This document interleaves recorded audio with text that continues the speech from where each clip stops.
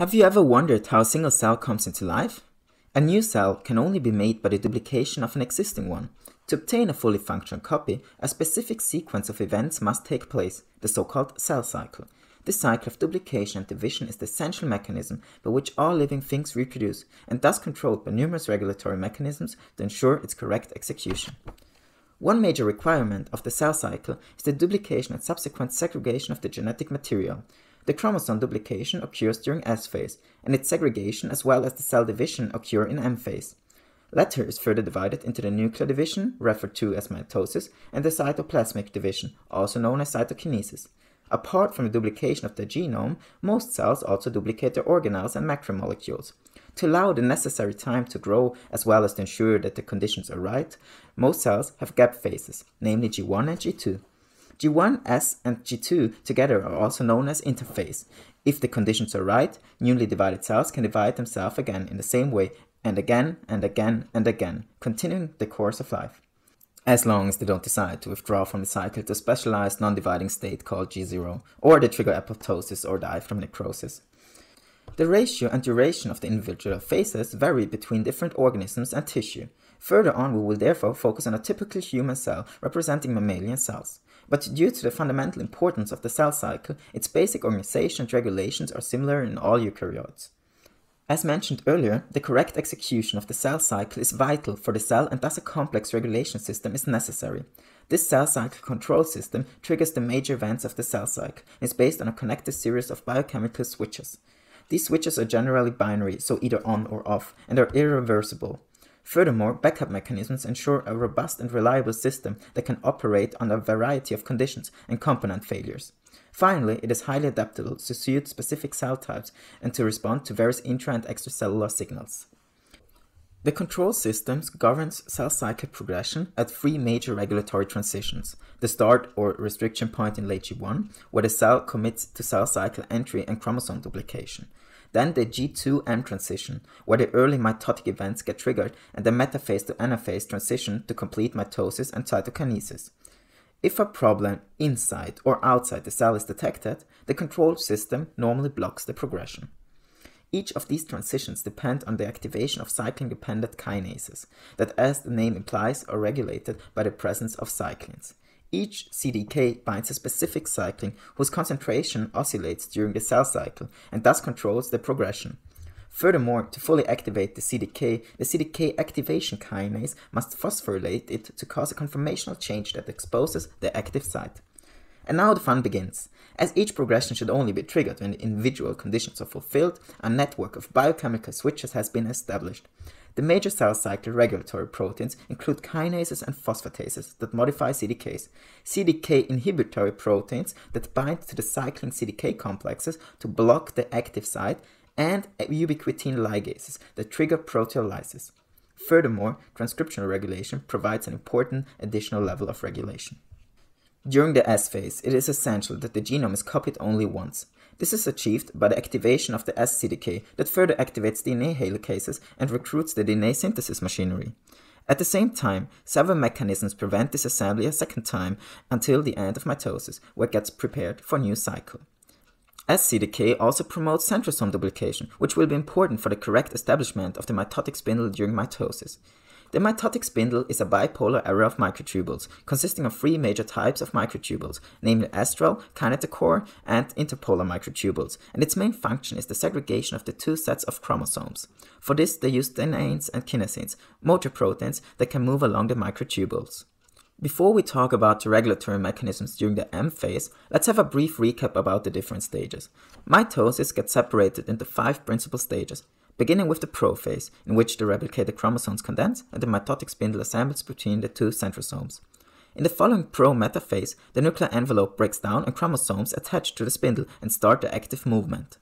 In the metaphase, the chromosomes are finally aligned at the equator of the spindle and the kinetochores attach to all sister chromatids.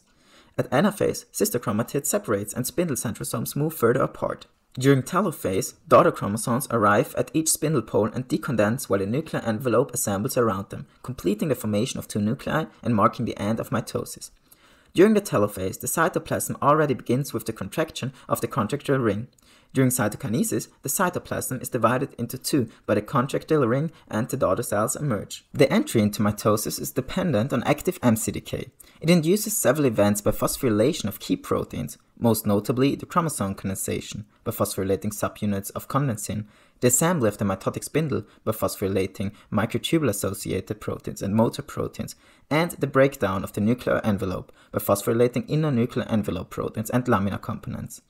The switch from metaphase to anaphase is primarily triggered by the ubiquitin ligase APCC, the anaphase promoting complex. The APCC further promotes the events that complete mitosis, including the disassembly of the spindle and the reformation of the nuclear envelope through the activation of downstream targets.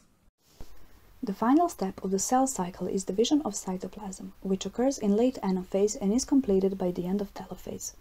This step is present in most of the cells, but there are some that undergo mitosis without cytokinesis. The first sign of cytokinesis is formation of a cleavage furrow, a structure composed of actin and myosin filaments.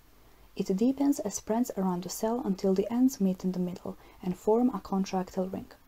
The formation of the ring and the right place and time is of crucial importance and the central role in this process is played by a mitotic spindle. By the end of contraction process, two cells are held together via a structure called midbody, which represents the remainings of central spindle. When contraction is completed, membrane insertion and fusion seal the gap between the other cells. A key event that also takes place in late M phase is inactivation of cyclins, dependent on APCC activity, which promotes their degradation. Complex is also active even after mitosis has finished, ensuring the cell has time to grow and respond to stimuli telling her whether to enter another round of division or not. Regulation of cell cycle, and in contrast cell death, determines cell number and their size. This regulation occurs as a response to intra and extracellular signals. These signals are proteins that bind to specific receptors and through signal transduction initiate changes in the cell that result in cell division, growth, survival, or death. There are three major classes of these proteins. Mitogens, which overcome the braking mechanisms caused by APCC by stimulating expression of G1 cyclins, which are resistant to APCC complex and thus promote entry into cell division. Growth factors that promote growth by stimulating accumulation of proteins and other macromolecules, increase nutrient uptake and production of ATP. And survival factors that promote cell survival by suppressing apoptosis. Progression is also controlled by intracellular signals. For example, DNA damage can suppress further progression through cell cycle by activating specific proteins which lead to elevated levels of cyclin kinase inhibitors.